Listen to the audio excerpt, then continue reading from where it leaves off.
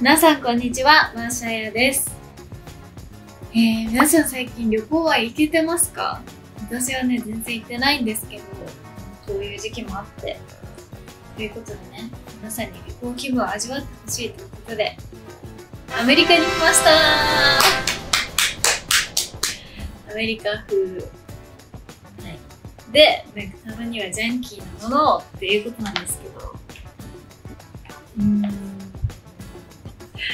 まあ、食べていきましょう。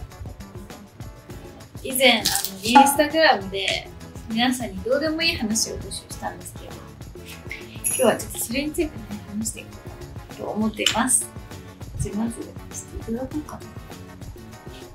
じゃあ、いただきます。うん、おいしい。今日の夜は何食べるかな？うん、てか、コーラ入れ忘れた。コーラ何年ぶりだろうってぐらいに飲めます。うわすっごい。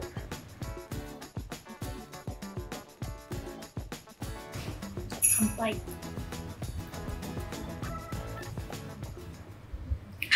甘い。美味しい。まーチャンネル。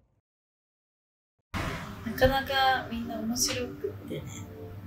今日お母さんの膝枕で1時間寝た22歳。なかなかないですよね。でも私もギリできるかもしれない。全然できます、私。男性ちょっとやだ。ちょっとやだかもしれない。やつが、見てください。私今金髪にしてみたんです。どうですかえー、っと、最近生ハムにハマってます。わかる私、私最近ハマってんのが、あの、スモークサーモン。私サーモン嫌いだったんですけど、食べれるようになったんですよ、最近。スモークサーモンが。で、スモークサーモンにチーズを乗っけて食べるんですよ。これこれ。これです。これがね、すごく美味しくて、これにスモークサーモンめちゃくちゃ合います。レタスを巻いてるんです。それも美味しい。レタスにスモークサーモンとチーズとあとトマトとかも絶対あるし、なんかいろいろ入れて、めっちゃ美味しかった。じゃあ私の中でどうでもいい話しますかほぼ毎日、ペットショップに張り付いてます。猫。可愛くさ。ちょうどあの外にから見えるようになってて、絶対1分ぐらい待って帰る。運命の子が来たら帰ります。あと最近、柚子胡椒にすごいハマってて、柚子胡椒とハラペーニョとチリソースにハマってます。でも最近ちょっと刺激物が、うん、好きになっちゃって。いや、あれをやりすぎですよ。あの、激辛企画とかも。ちょっとなんか胃に穴開くんじゃないかって思うけど、でもあの、タバスコとか、ああいうのは本当にいくらかけても美味しいんで。辛くないから。毎週金曜日すね毛剃ってます。これ結構ね、クスッとしちゃいますね。多分男性なんだろうなっていう、おそらく。体毛が嫌いな女の子って今多いじゃないですか。私全然体毛 OK な人なんですよ。OK っていうかむしろ体毛に色気を感じるタイプの人なんで。右のちょい下らへんがかゆい。書いて。それは。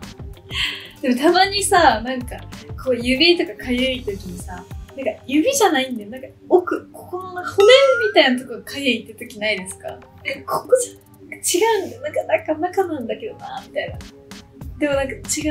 なんか書いてんだけど、ここなんだろうっていうところを書いてるんだけど、なんかここじゃないみたいな。なんかこうピンポイントに書けないみたいな時、え、私結構あるあるなんだけどな。なんか、今ない？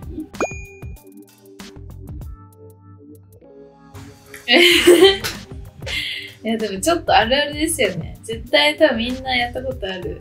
驚かそうとして全然違う人だったみたいな。あれのなんかかわし方をどうするかっていう。最近ほくろの増加が止まらないです。それ結構やばいんじゃない？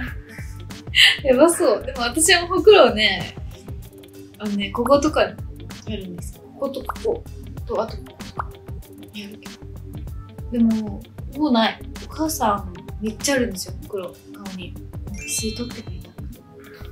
でも私すごいほくろある人結構魅力的で好きだなと思うんですよね。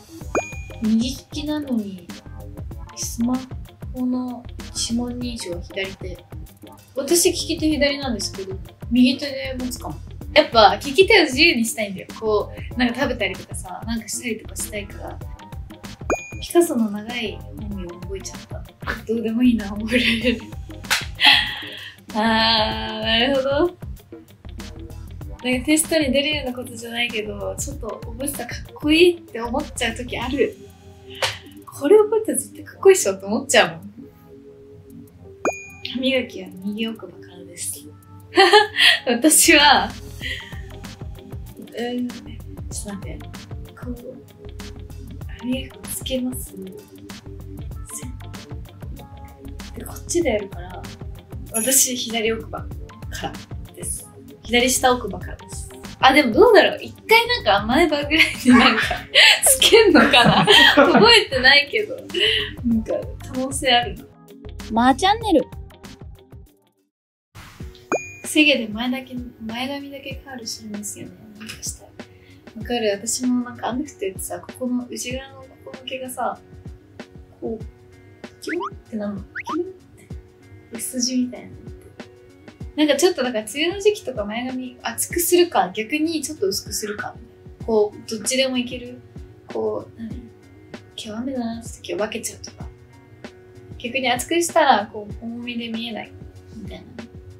友達が人生ゲーム買ったって言ってた。今？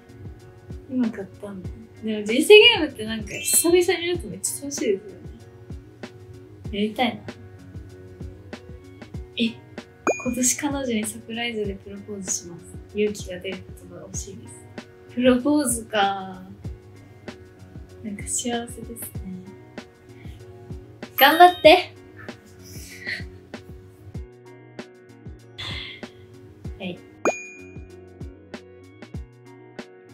え、わかるタピオカ、タピオカ飲むとタピオカだけ余る。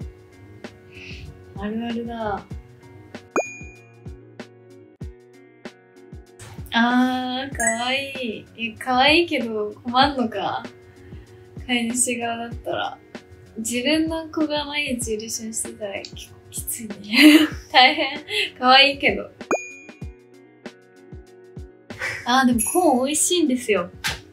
回転寿司のね、コーン。私本当に、もうそういうミートボールとかコーンとかあったじゃないですか。私がちっちゃい頃あったんですけど。もう、お父さん料理人だから、なんかこういうちょっとなんか、邪道みたいな。あんまり食べてこなかったんですよ。でもやっぱ友達と一緒にお寿司とか行ったりすると、やそういうの食べる子って結構いて、で、それこれピザもそうなんですけど、なんかその、たら、あ、違う、たらこじゃない、コーンとか、コーンじゃが、じゃがみたいな忘れちゃったけど、マヨじゃがみたいなやつだとかあるんですけど、いやなんか、もう大人になって美味しさ、美味しさに知りました。友達と話をすると貧血になります。えどういう状況？結構我慢してんのかな？友達と話すとき。脳貧血だと私もたまになるんですけど、なんか朝とかね、なりやすい。結構。たまにあるんですよ、本当に。年に2回ぐらい。なんか朝の、起きてから、なんかズーンってしてるんですよ、ずっと。なんかだんだん立てなくなってくる感じ。すごい、怖いですよ、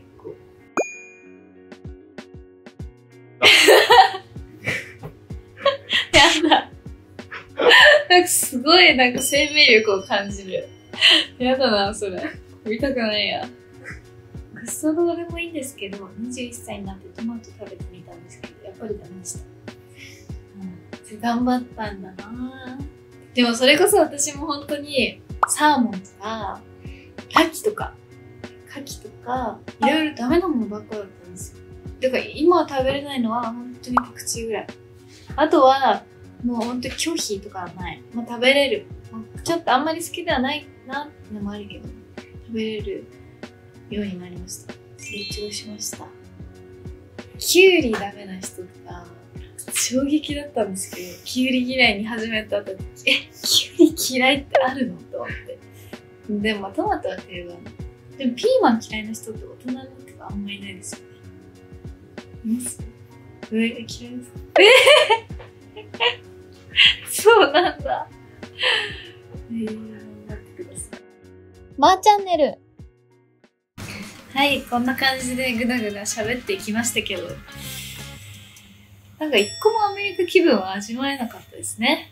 ちょっと最初に、ちょっとお腹膨らまして、どうでもいい話しただけっていう。映画のね、来てるらしいんですよ。よっ。あ、青森子じゃんみたいなぐらいの服ですけど。っていう感じです。じゃあ、皆さん、インスタのストーリー募集ありがとうございました。では、また次の動画でお会いしましょう。バイバーイ。